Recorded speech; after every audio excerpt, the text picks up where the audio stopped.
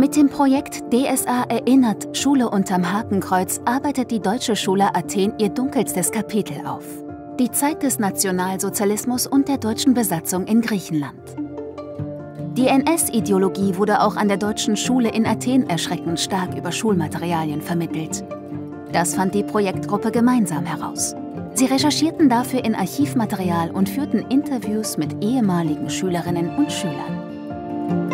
Die Tatsache, wie sehr ein Staat Bildungseinrichtungen für politische Interessen und Ziele instrumentalisierte und Schüler indoktrinierte und welche Auswirkungen dies auf die Vorstellungswelt und Ideen von Jugendlichen hatte, erschütterte die Gruppe und machte sie gleichzeitig sensibel für aktuelle Formen von Manipulation, Ausgrenzung, Diskriminierung und Antisemitismus.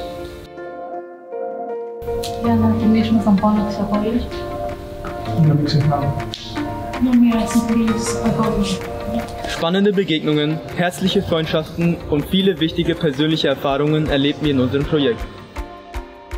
Mit der DSA Erinnert Webseite wollen wir eine Brücke zwischen der Vergangenheit und der Gegenwart bilden und alle zu einer lebendigen und kreativen Auseinandersetzung mit der DSA Schulgeschichte einladen.